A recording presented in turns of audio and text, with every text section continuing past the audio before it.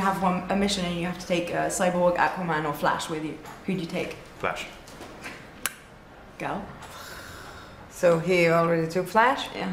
Um, it's a hard choice. No, even from the three, it's a hard choice.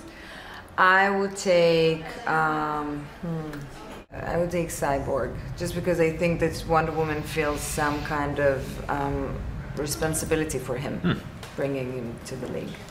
Um, you have a mission and you get to take either Wonder Woman or Superman. Who do you take? What's the mission, though? Do we not know Oh. going into it? That's we're not going into what the mission is. There's a kryptonite involved because if there's kryptonite there, don't bring Superman. Let him let him stay where he's at. Uh, I'd say Wonder Woman.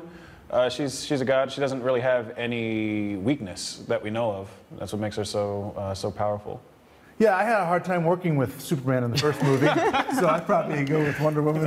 I'm gonna go with Wonder Woman too. Sorry, Soups.